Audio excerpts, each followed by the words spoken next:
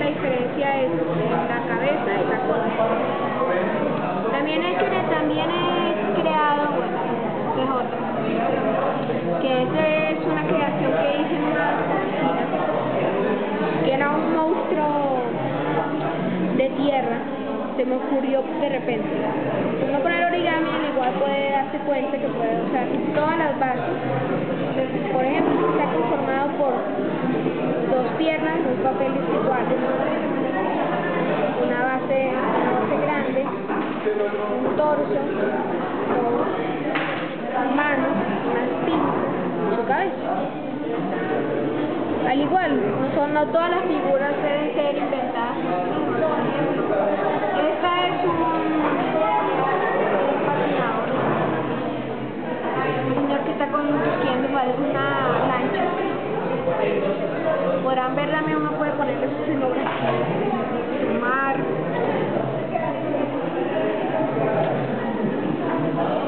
también son muy fáciles de conseguir, por ejemplo, tenemos, tenemos, tenemos el cerdo,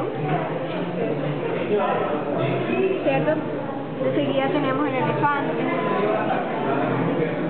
el monstruo, que es una figura bien sencilla, o hasta esta lancha que también, aunque parezca muy difícil, es sencilla, pero espero que le haya gustado esta pequeña sección del origami.